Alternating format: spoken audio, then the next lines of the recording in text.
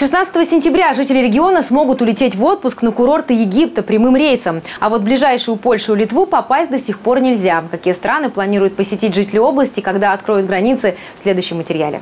Из аэропорта Храброво в Хургаду до конца октября запланировано 5 рейсов, Шарм-аль-Шейх – 4. А вот некоторые границы закрыты уже более года. В ближайшие страны, такие как Польша и Литва, калининградцы до сих пор не могут попасть. Привыкшие каждые выходные бывать там, жители региона и представить не могли, что могут остаться без отдыха, ведь отправиться в эти страны можно на машине, а поездка занимает немного времени. Какой-то час, и ты в Европе. Мы вышли на улицы города и выяснили – Открытие каких стран ждут калининградцы? Откроют границу, я бы поехала в Польшу.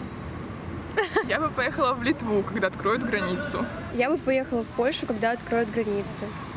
Но когда откроют границы, я бы с удовольствием поехала на мои любимые Канары, на остров Тенерифе и на остров Лягомера. Так здорово, так красиво, Атлантика. Это сказка. Куда бы я хотела поехать?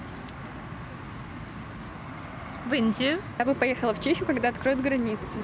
Напомним, коронавирус атаковал весь мир в 2020 году. Тогда и начались массовые закрытия границ. Люди стали заложниками собственных городов. Вспышка уже четвертой волны коронавируса облетела многие страны. Череда локдауна в Европе происходит больше года, из которого ряд стран не вышли до сих пор.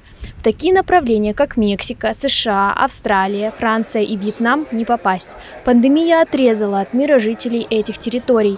Когда закончится эпидемия и путешествия в излюбленные направления будут доступны, остается только догадываться.